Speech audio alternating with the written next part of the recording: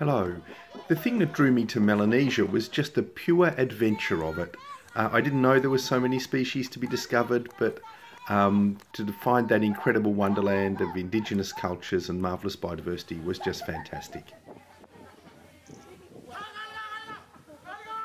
I'm coming back this year because the cruise last year was so fabulous, great people, extraordinary experiences. I just wanted to repeat it.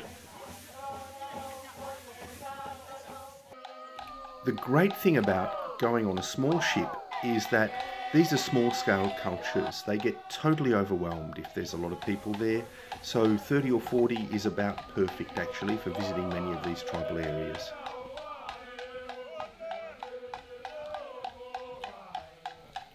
Uh, what you can expect uh, this year aboard is just incredible adventures, amazing experiences, and I hope uh, really good friendship.